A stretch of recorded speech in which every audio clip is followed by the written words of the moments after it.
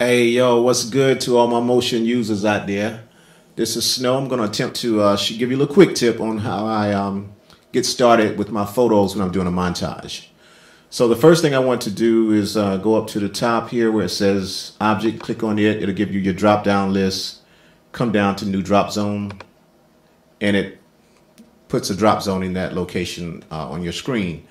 Um, and a drop zone actually is just uh, a placeholder for your photos. And what I mean is you can take a photo from here or wherever on your computer, just drag it in, let it go, and there's your photo in that slot.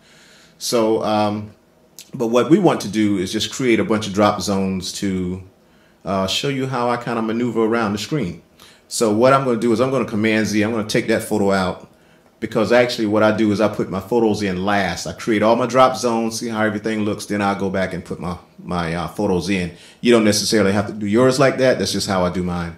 So now what I'm going to do, um, once I get my drop zone there, I'm going to scale it down. So I'm going to hold down my shift um, key and drag down to whatever size you want your photo to be. Um, let it go. And from there, you can let go your shift key.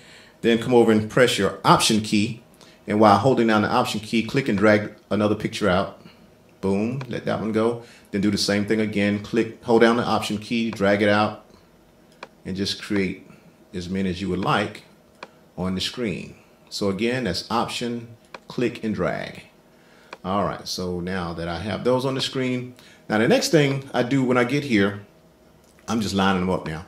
Okay, the next thing I do once I get here is I want to uh, scale some of these photos down. So we'll go with uh, this drop zone right here. We got to create a 3D. Put a camera on it, on everything. Switch it to switch to 3D. Now I have my camera where I can uh, um, just just view the whole screen. You know what I mean? Just see what I mean? I can I can twist, I can turn, whatever. You know. All right. We'll Command Z. Take that back out. All right. So now that you see how that works, that I have my camera up here. So what I want to do is instead of controlling all the camera, well, controlling the camera by itself, I want to control each individual picture. So I'm going to click on this one picture here.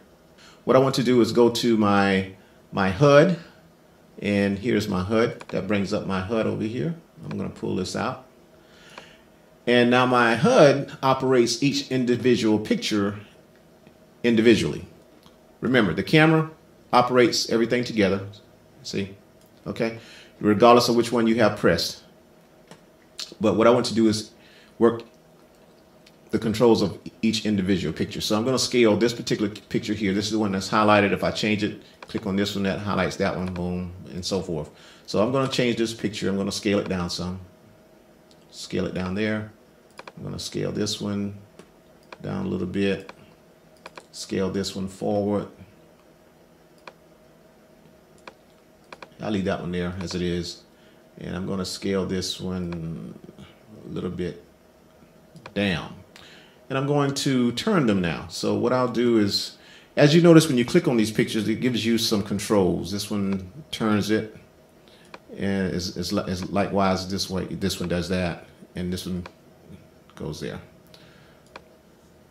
So I'm going to turn turn some of these photos. I'm going to turn that one like that. I'm going to do this one. I'm going to turn it uh, there. I'm going to do the same thing with this one. Uh, turn it there. That one. I'll go there. And you know what? I'm going to move these pictures again a little bit. I don't really like the location of them being exactly there. So I'm just going to drag this one over a little bit more. Do the same thing with this one. And this one here. Okay. Now, once I get those in place the way I like them to be, then what you want to do is this is where the fun begins. You would come up here to where your it says active camera. And uh, let's go ahead and move this off the screen. I don't need that anymore. All right, click on my active camera. And here it will control my photos. It will switch them around however I want to. I'm going to come down where it says frame object.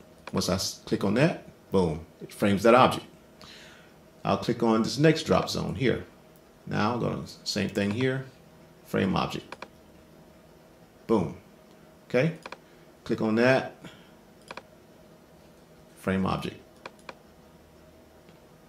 Get the point. frame object. So that's how I create some of my drop zones. So from there, that's a little quick tip. You can take it and run with it. I mean, it's limit uses of this right here that you can use in your in your montages. Uh, you can slow the photos down, they turn, you can flip them however you want it to do. But that's your quick tip on how to maneuver your photo montage.